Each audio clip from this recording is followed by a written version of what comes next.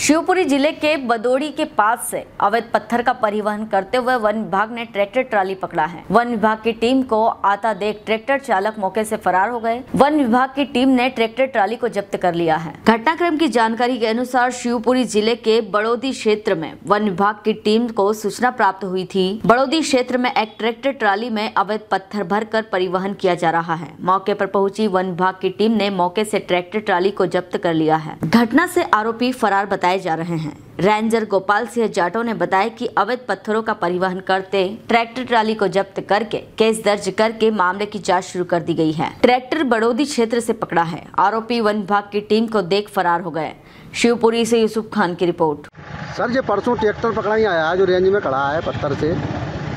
इस पे परसों से अभी क्या कार्रवाई आपने करी हो गश्ती के दौरान मुखबिर की सूचना के निशानदेही पर जी।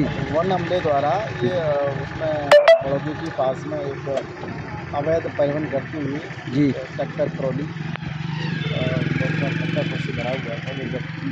कितने आरोपी हैं सर उसमें पकड़ाई आज? इसमें क्या मौके से सभी लोग फरार हो गए थे? ट्रैक्टर छोड़ के?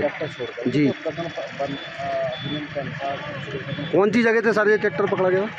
ये है बड़ौदी के आसपास का। अच्छा।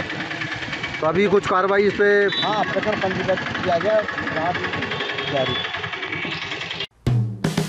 हेलो फ्रेंड्स आप देख रहे हैं हमारा channel S W twenty four news हमारे सारे वीडियो सबसे पहले देखने के लिए आप हमारे चैनल को सब्सक्राइब करें और पास में लगे बेल आइकन को दबाना बिल्कुल भी ना भूलें।